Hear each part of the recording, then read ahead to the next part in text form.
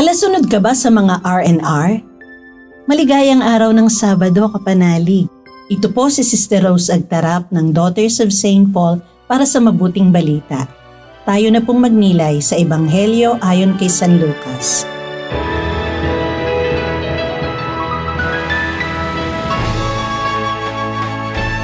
Isang araw ng pahinga, naglalakad si Jesus sa buwirin ng trigo.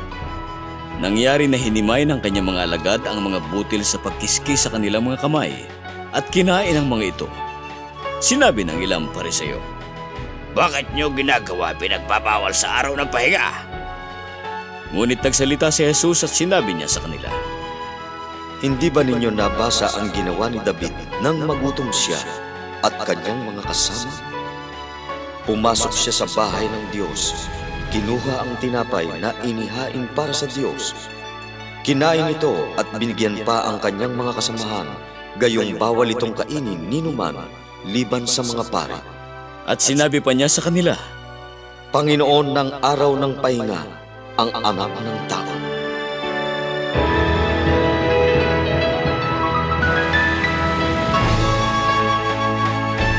Magandang kaugalian ang maging observant sa pagsunod sa mga rules and regulations dahil ito ay nakikreate ng order and efficiency. Pero kung ito naman ay magiging dahilan para makompromise ang basic need ng isang tao, hindi ito tama dahil it goes against charity. Sa mabuting balita na narinig natin ngayon, pinaratangan ng mga pariseyo si Jesus at ang kanyang mga alagad sa di umano'y din nila pagsunod sa batas ng sabat. Namitas kasi ng grano ang mga disipulo para kainin dahil nagugutom na sila. Nakita natin sa episode na ito ang kahalagahan ng putting into the right perspective ang ating pagpapahalaga at pagsunod sa mga rules at regulations. Mahalaga ang mga batas at alituntunin para maging maayos ang takbo ng ating pamumuhay. Kung wala nito, chaos talaga ang manghahari dahil wala na tayong nakikitang tama at mali. At ang pansariling kagustuhan na lang ang ating susundin. Pero dapat din nating tandaan na charity is far above and more important than any rules and regulations that govern our lives. Dahil ang involved dito ay buhay ng tao at ang kanyang kabutihan. Ang paggawa ng kabutihan sa isang taong nagugutom o nanganganib ang buhay ay mas mahalaga kaysa sa pagsunod sa anumang mga tuntunin at regulasyon.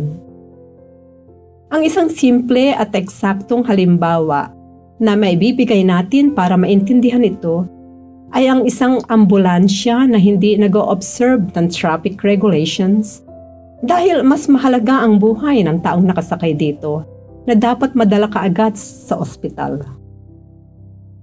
Ang law of charity is more important.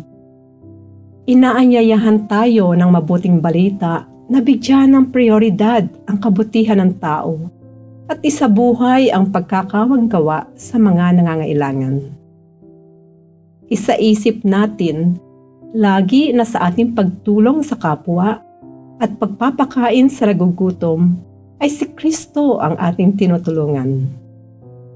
Kapanalig, sa araw na ito, ano kaya ang magandang bagay o any act of charity na pwede nating may extend sa ating kapwang kapuspalad at nangangailangan?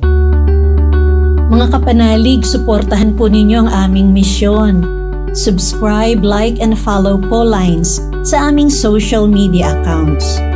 Tulungan niyo po kaming maipagpatuloy ang programang ito at ipadala ang inyong donasyon sa aming donations channels. Makakaasa po kayo na isinasama namin ang inyong mga intensyon at kahilingan sa aming mga panalangin araw-araw. Ito pong muli, si Sister Rose na nag-aanyaya sa inyong manalangin kasama ni Mother Teresa ng Kolkata. Mahal na Jesus, tulungan mong ipalaganap ko ang iyong halimuyak saan man ako magpunta. Punuin mo ang aking kaluluwa ng iyong espiritu at pagmamahal.